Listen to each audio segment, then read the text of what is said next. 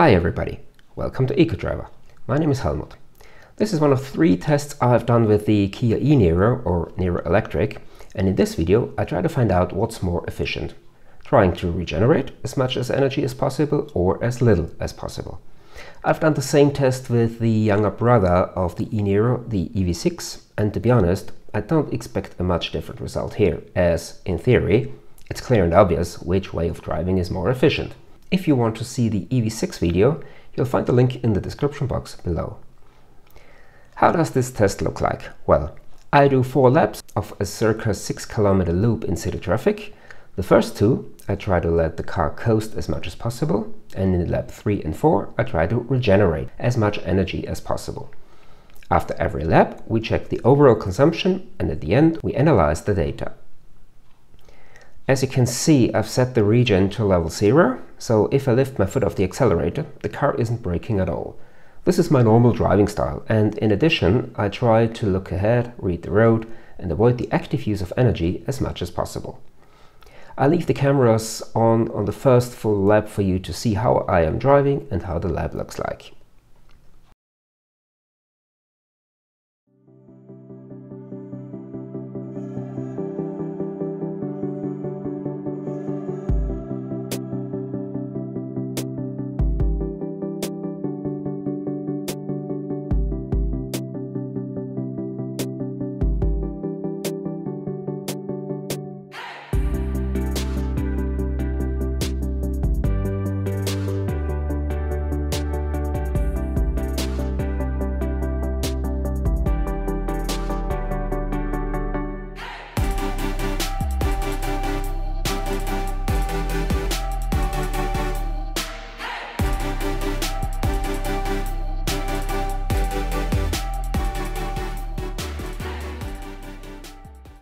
As an example, you can see that the traffic light ahead of us is red, and so I'm lifting my foot off the accelerator, and the car is coasting towards the red light, losing almost no speed.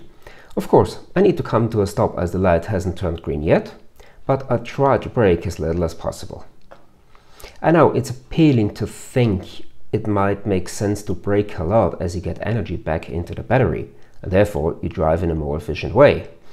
But the crux of this thought is that in order to regain energy, you need to invest energy beforehand. And as we found out in our mountain and regen test, you'll find the link below or at the end of this video, you'll never ever get back what you have invested. If you're doing it perfectly well, you get back between 40 and 50% as a maximum. And what you also must not forget is that it also requires quite a lot of energy to keep the car at speed in order to have enough momentum to make use of the brake and then regenerate. Here again, the light around 200 meters ahead is red. I lift my foot and we are coasting towards it. You see, the, speed is, is barely reducing.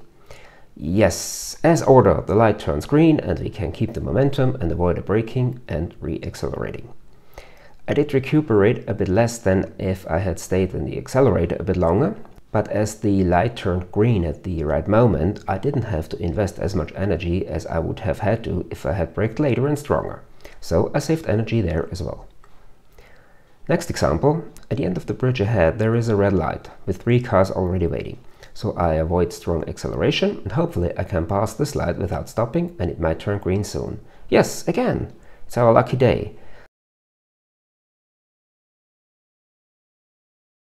And we made it right in time before it switches back to red.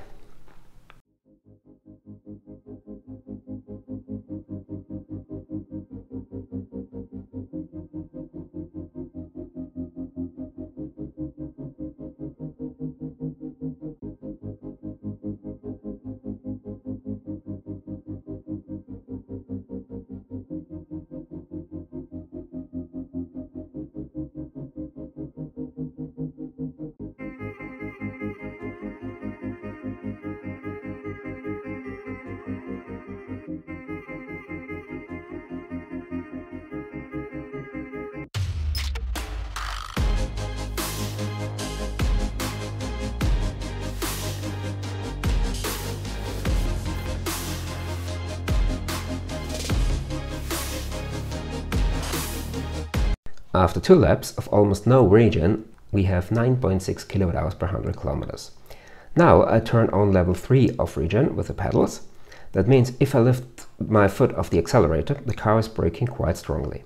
But to clear up a potential misunderstanding, this isn't a comparison one pedal drive versus no one pedal drive, as you can coast a lot in one pedal drive mode as well, although it means it's quite tiring to try to find and keep the point of no power and no regen on the pedal.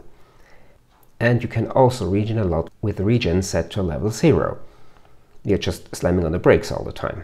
This is about driving style, not drive mode.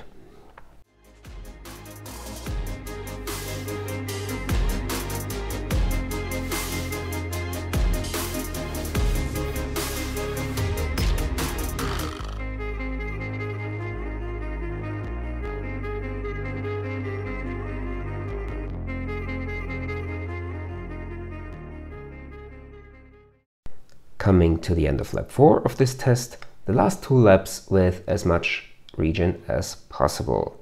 If we click through the info here, we see the car tells me 99% economical driving and 1% normal. These are the same figures.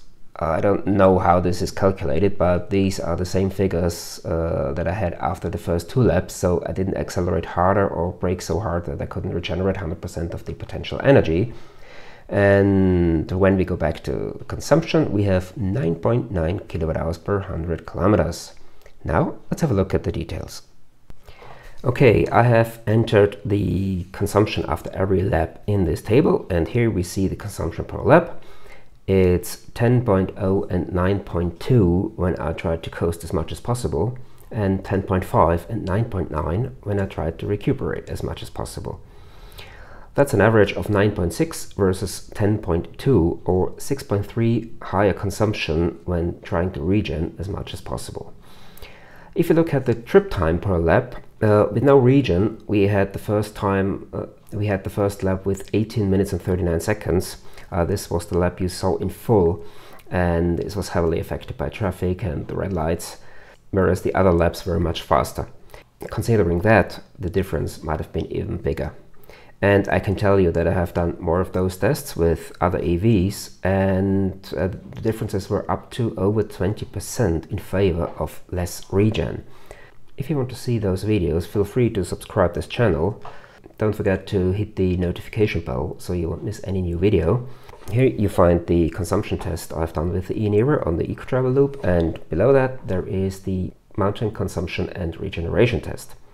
That's it for the e-Niro. Thanks for watching. Take care. See you next time.